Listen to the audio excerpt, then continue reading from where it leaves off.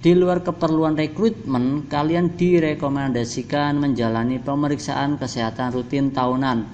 Medical check-up ini bermanfaat untuk memeriksa kemungkinan adanya penyakit tertentu agar bisa ditangani secara dini.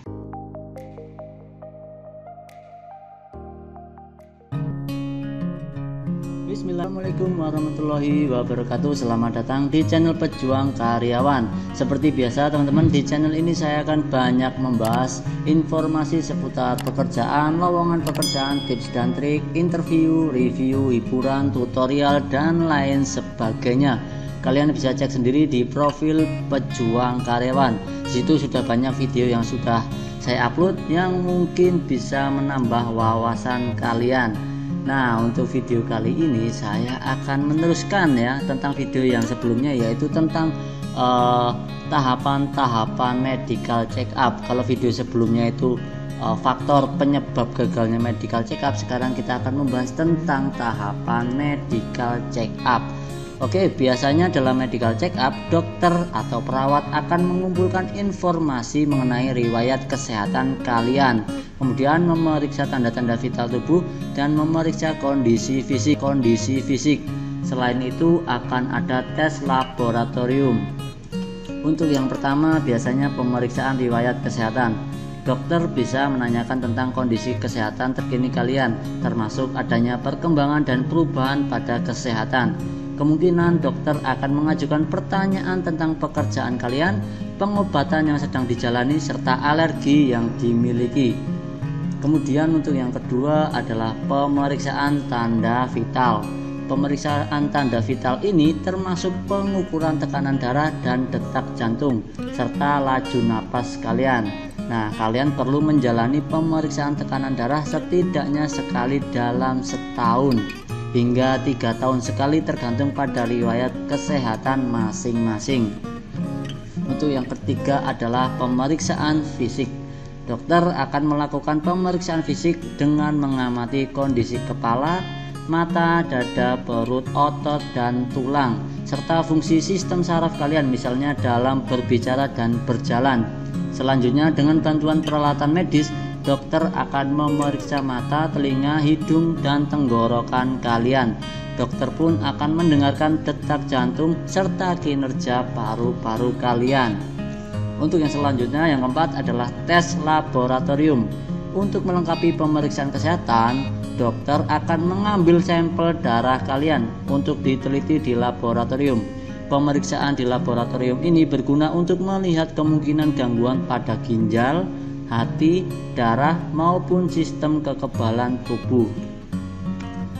Kemudian apa gunanya medical check up? Pemeriksaan kesehatan atau medical check up berguna untuk memeriksa kondisi kesehatan kalian secara menyeluruh. Pemeriksaan kesehatan ini bisa dilakukan oleh dokter maupun perawat. Medical check up bisa membantu kalian mengetahui kondisi kesehatan diri sendiri sebab dalam proses pemeriksaan kesehatan ini kalian bisa berdiskusi dengan dokter atau perawat mengenai gangguan kesehatan yang sedang kalian alami. Di luar keperluan rekrutmen, kalian direkomendasikan menjalani pemeriksaan kesehatan rutin tahunan medical check-up ini bermanfaat untuk memeriksa kemungkinan adanya penyakit tertentu agar bisa ditangani secara dini, yaitu mengidentifikasi kondisi yang berpotensi menimbulkan gangguan kesehatan di kemudian hari. Kemudian mencari tahu tentang kebutuhan terhadap vaksin tertentu. Yang selanjutnya adalah memastikan gaya hidup yang sehat untuk dijalani. Selain itu, medical check up juga bermanfaat bagi kalian untuk mengetahui tingkat kolesterol, tekanan darah, serta gula darah. Sebab nilai dari kondisi-kondisi tersebut bisa saja tinggi tanpa menunjukkan gejala. Oleh karena itu, jangan ragu untuk melakukan tes medical check up karena memungkinkan kalian untuk menjalani perawatan terhadap gangguan kesehatan sedini mungkin. Nah, itu tadi adalah uh, sedikit tentang tahapan dalam medical check up menyambung video saya yang sebelumnya tentang uh, penyebab gagalnya tes MCU atau medical check up yang sering dilakukan oleh perusahaan-perusahaan ketika rekrutmen Nah, mungkin sedikit video ini membantu kalian uh, punya gambaran tentang medical check up ya.